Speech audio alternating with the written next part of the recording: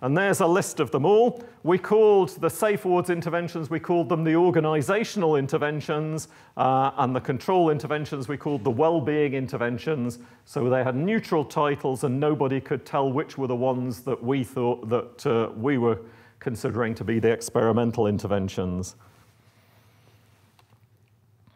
Uh, this wasn't just me working on this big study with all of these different wards, that's all of the team that worked on the Safe Wards trial.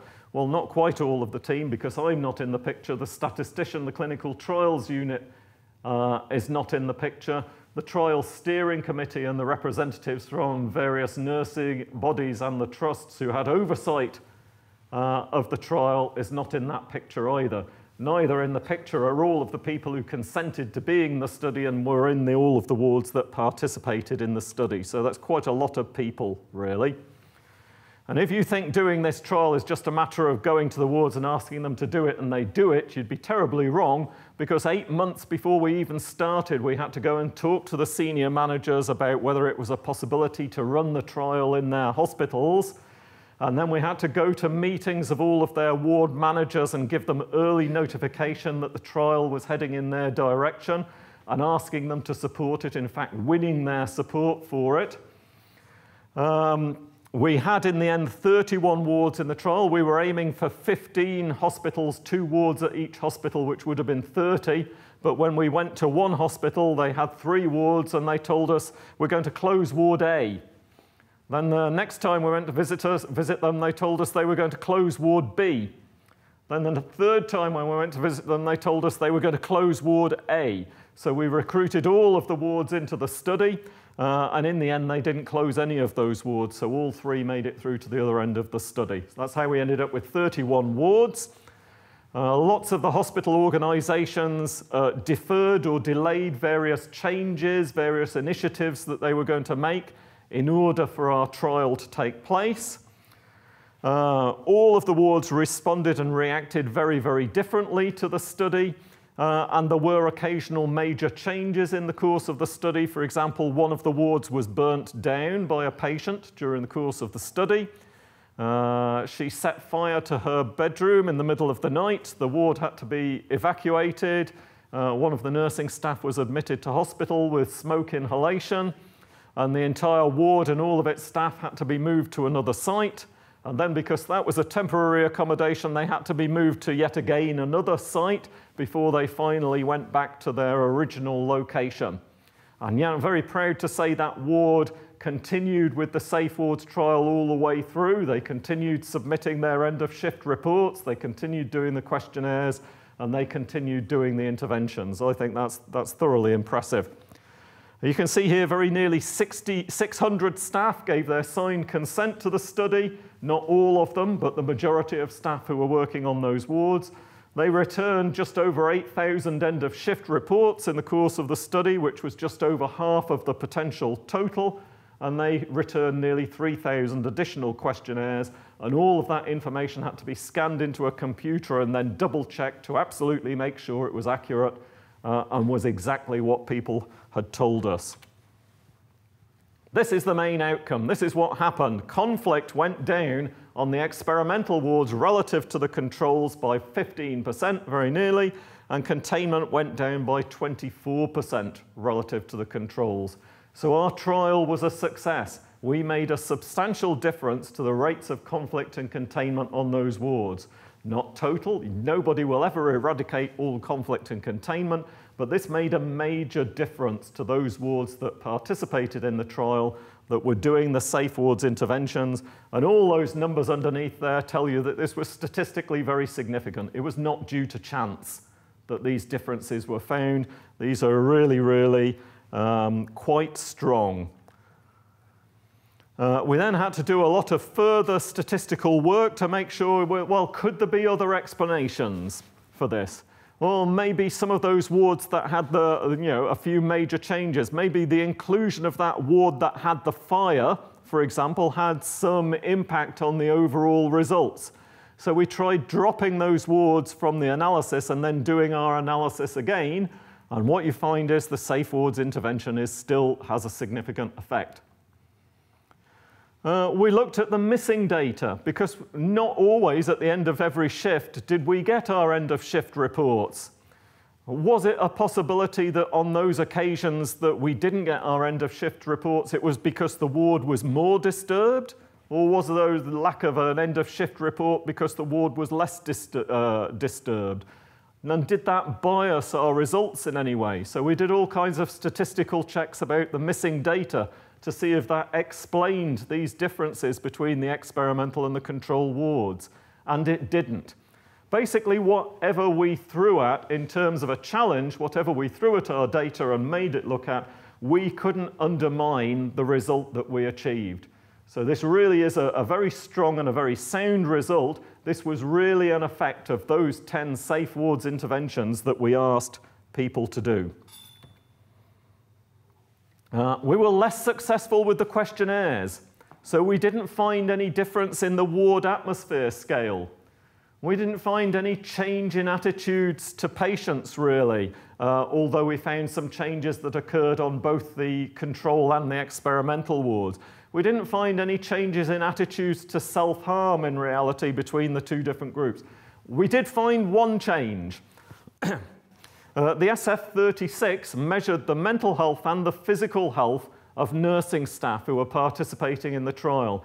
And it didn't matter whether you were working on the experimental or the control wards, there was no change to anybody's mental health status throughout the course of the trial, not in general. But we did find a change in the physical health status. Those nurses who were working on the control wards, who were doing all of those desk exercises and getting the individual diet advice, they really did improve their physical health. Their physical health was measurably better at the end of the trial than it had been before the trial started. So if you want to turn our trial upside down and say this was a test of an intervention to improve the physical health of staff, then it worked that way as well.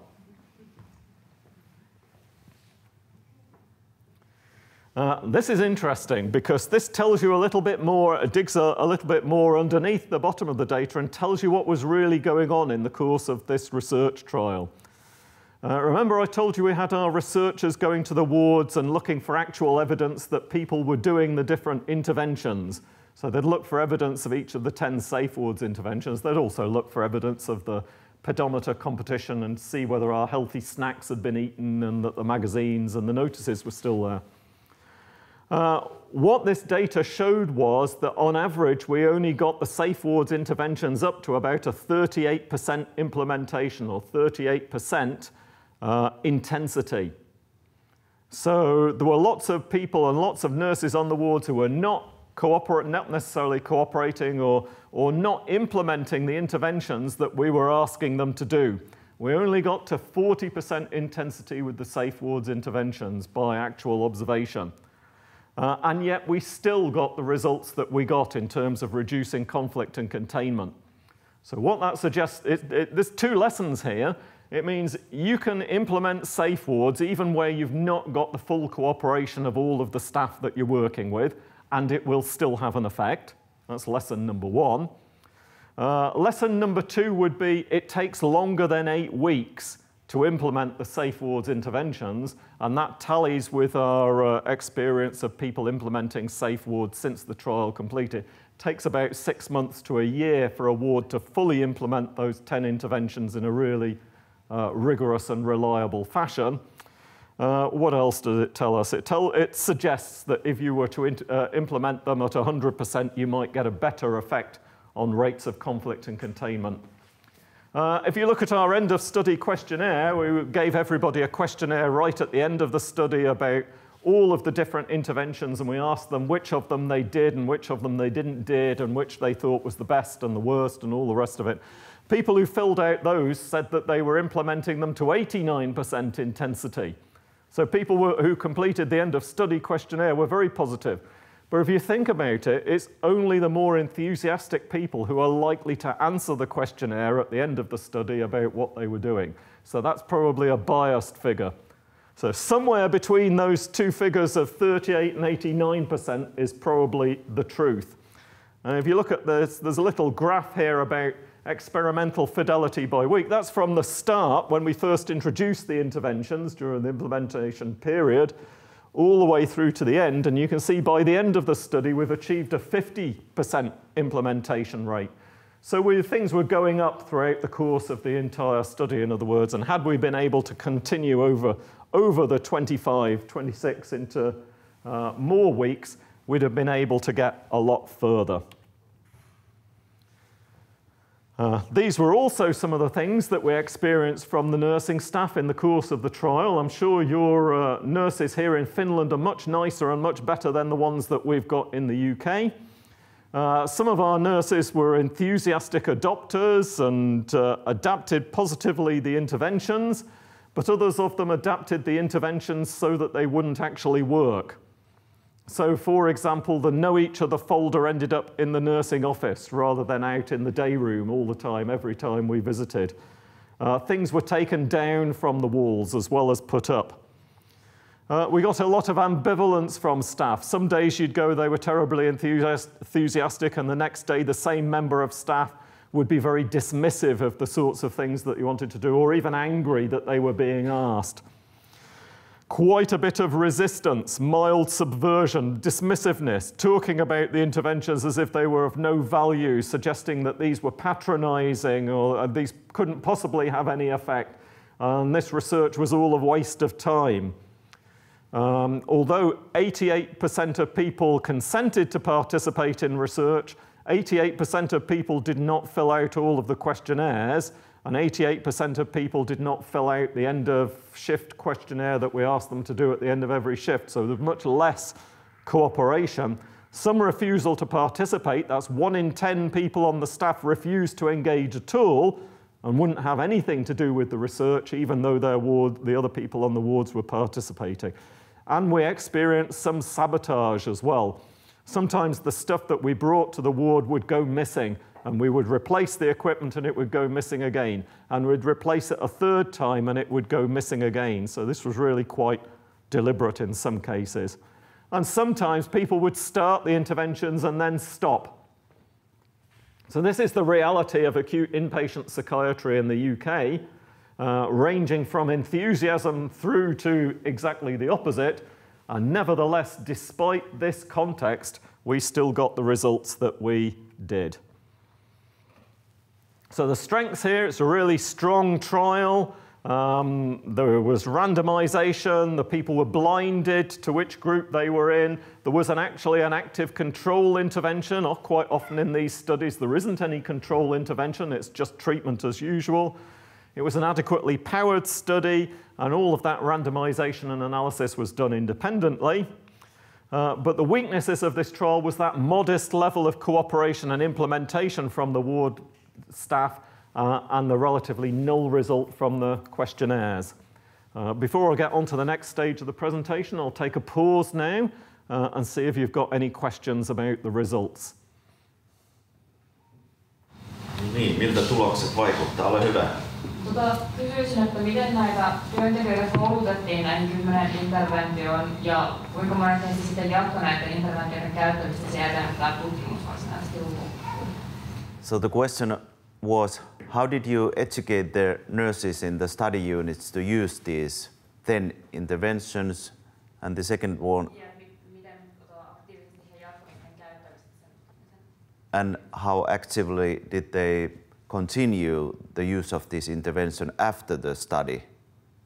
Um, taking the last part first, I've got no way of knowing how they are continuing to use the interventions or not. I suspect in most cases not, uh, because they did them only as part of the research trial. But I also know of wards where they still do them as well. Uh, so I'm not entirely sure, would be the answer to that. Uh, what support did we give them? What training did we give them? Uh, we just told them what was in the interventions and gave them the handbook, which was essentially what you've got on the website. Uh, how much training do you need to do positive words, which is say something positive about each of the patients on your ward during handover? You don't need any training to hang up the soft words posters, you just do it. You know, the whole joy of these safe wards interventions is that they don't need any training really. You can just go out, take them, go out there and do them.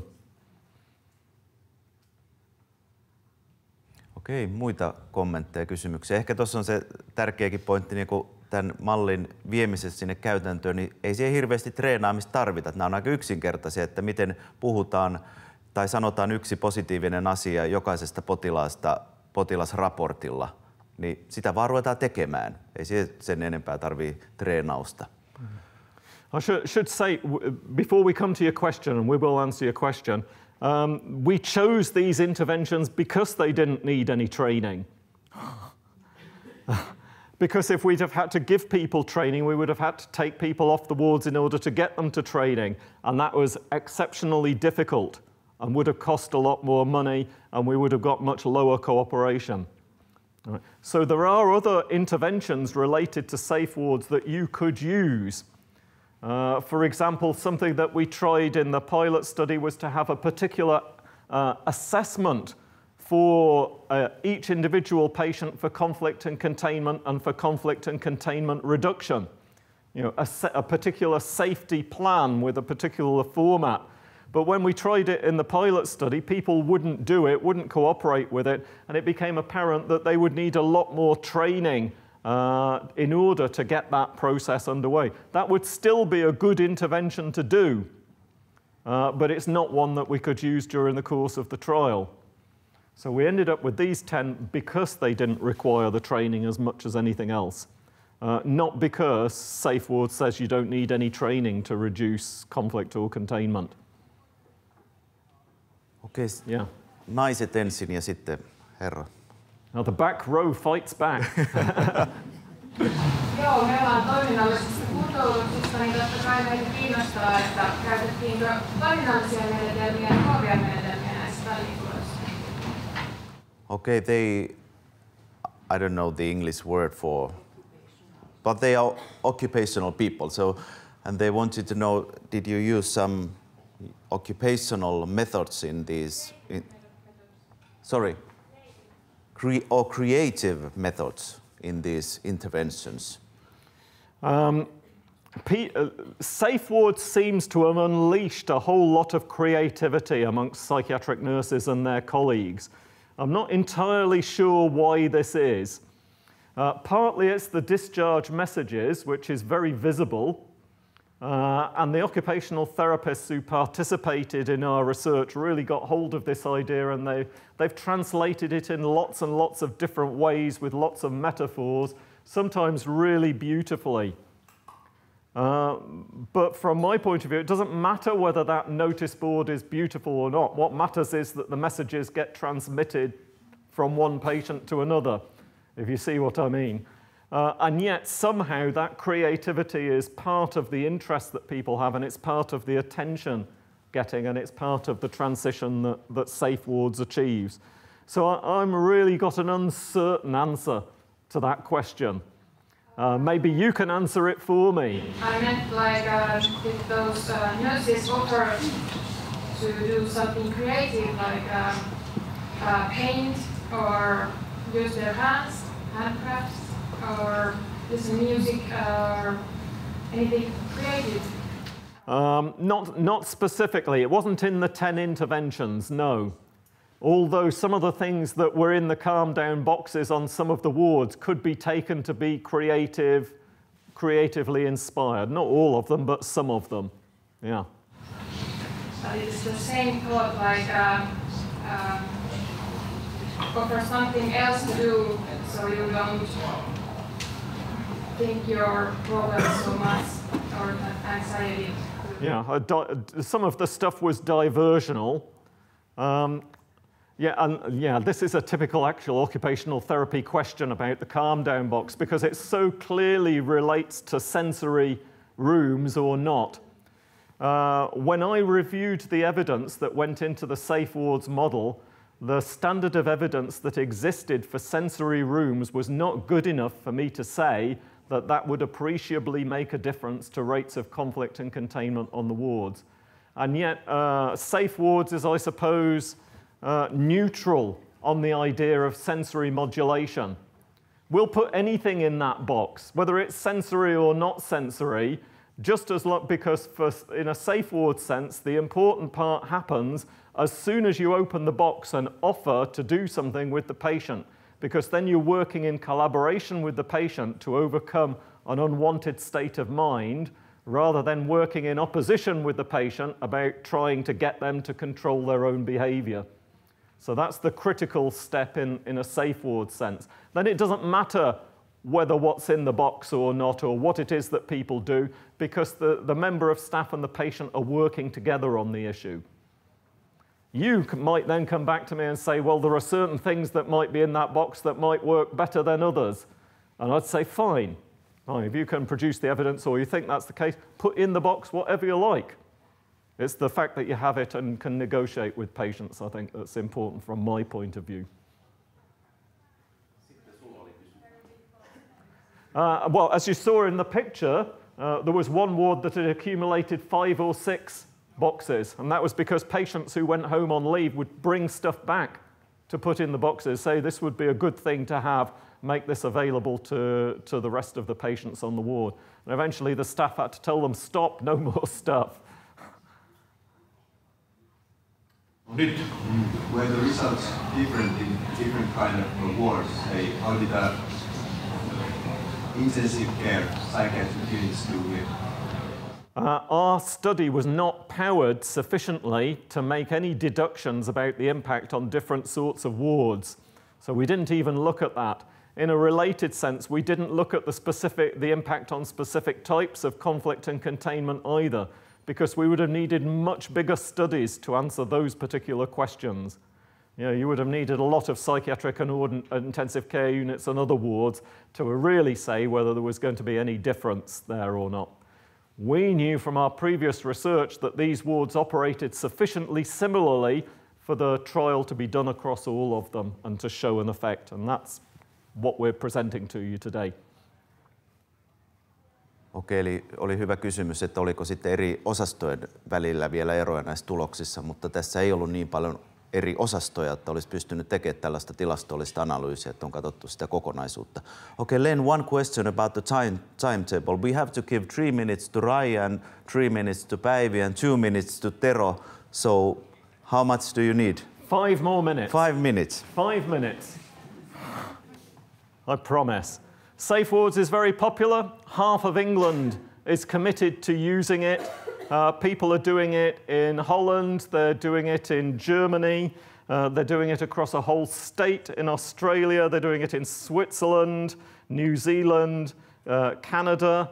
The hospital in Reykjavik is doing it. Oh, somewhere in Helsinki is doing it. Where would that be? Kellokoski Hospital. Uh, and they're doing it in Turkey and Istanbul as well.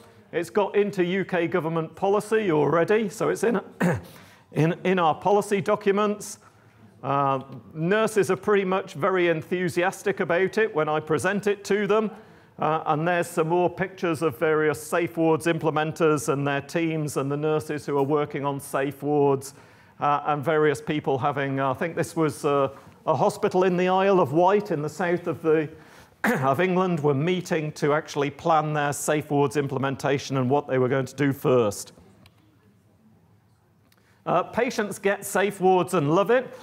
so some of our greatest supporters have been service user groups because they really, really understand safe wards. They understand the 10 interventions just as you do uh, and what rationale they have and how they would potentially make a difference to the everyday interactions between patients and staff.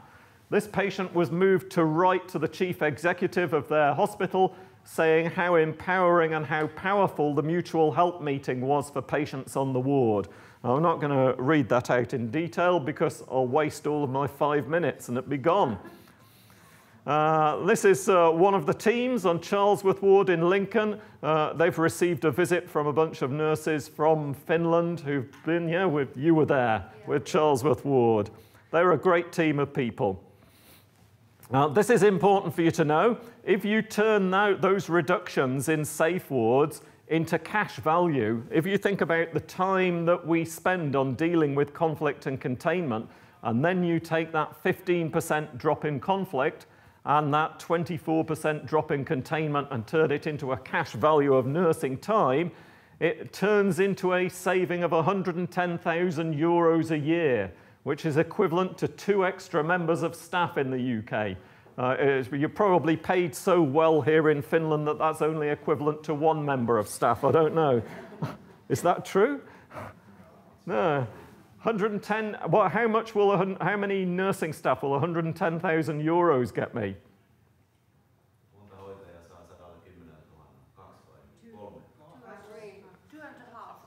Two and a half. So it's good. This is good value then in that case. So this is, a, if I came to you today and said you could have an extra two members of staff on your wards each, would you all go away happy? Yeah, I will get a few small uh, sort of Finnish sort of nods in the audience. yes, you'd be very happy. Well, I'm saying you can do the same. If you implement SafeWard, you free up the equivalent of two members of staff on your team. And that means you can invest that time in much better and more productive things to do. So if you want to find out more, there's a Safe SafeWards channel on YouTube. Uh, there's little videos about each of the interventions. There's recordings of webinars about each of the interventions. Uh, there are recordings of nurses and managers who are implementing safe wards talking about the process. Uh, and I am hoping that at some point we will get some finished videos up there. So if you go out there and implement safe wards, please make some video recordings and we'll put them up on the YouTube channel in Finnish or in whatever language you like, in fact. If you want to follow us on Twitter, you can follow us on Twitter. We've got a Safe Wards channel on Twitter, and Safe Wards is on Facebook. Uh, would you take the official photograph, please, Lauri? Lauri's now going to take a photograph of you. You're going on Facebook later on today. Uh, if you don't want to go on Facebook, look down or cover your face or go like this or whatever. Okay, so everybody say face, no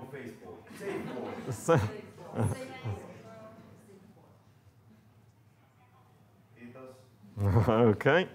Uh, it says 1,500 plus international members there. I looked this morning, it's 2,100 and it's increasing all of the time. And of course, because I've been making a few presentations this week in Finland, the number of Finnish members is getting uh, more and more quite quickly. Uh, this is the, um, the main website that Lauri's already uh, introduced you to, and as you know, it's been translated uh, into Finnish now, but it's available in a number of other different languages as well. People visit that worldwide, and it's got the, everything in there, everything you need to know about the 10 interventions. If you do all the 10 interventions, it's got the full details of the 30. If you do all of the 30, uh, then it's got more information about our long list of nearly 300. And if you do all of those, it's got all of the model information so that you can create your own interventions and go on renewing safe wards as long as you like. So there's a whole range of different things you can do and keep acting in order to reduce levels of conflict and containment on your wards to the bare minimum.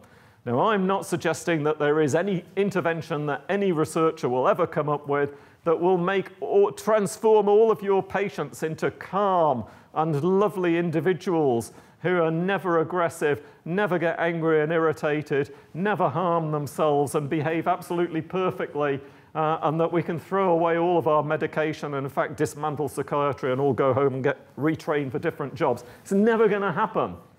Uh, but we can get to a much better place than we are at the moment. And the way to get to that better place is to use the evidence that we have to give the, the care that is less likely to give rise or to engage us in the use of containment. Uh, and these are the principles that I'm handing over to you today. Uh, and if your ward won't agree to work with you on safe wards, then you can just think about implementing them yourself in your own personal practice. And in fact, if you're in the audience and you're not a nurse, you happen to be a psychiatrist or a social worker or a psychologist who doesn't have that much involvement with wards, you can still think about these principles in your own individual practice about your own interactions with patients and how you can move in a to a kind of a less confrontational practice in your style of interactions and work. So there you are, brand new uh, explanatory model of conflict and containment on wards. It's available free. Now, you don't have to pay me, you don't have to pay Lauri, uh, you don't have to do any training, or it's all there free for you to use, uh, for you to engage with, and all of the resources are available that you could possibly need. The only thing that I ask of you is if you do do this, that you participate and encourage other people, not just within, uh, within Finland, but worldwide. That means engaging in the different forums on uh, social media that are available. And it means things like making your own video recordings and sharing them with other people, hosting visits from other places in the world and other places in Finland, showing them what you do and sharing good practice, because that's also part of what Safe Wards is about. Uh, I'll leave it there. Thank you very much.